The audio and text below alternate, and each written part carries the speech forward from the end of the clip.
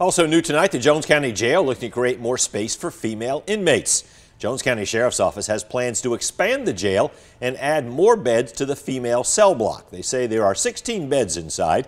They want to add another 40. County Administrator Jason Risner says the project will cost about $2 million from general funding. Sheriff Butch Reece says expanding the jail is something he's wanted to do for about six years now. Risner says now that they have the money and plans in place, it's time to move forward. It's easy to get excited about uh, parks and and uh, some of those types of things. It's uh, th this is something. Uh, it's just one of the essential functions of, of government. Risner says the county plans to start construction on that jail expansion in 2019.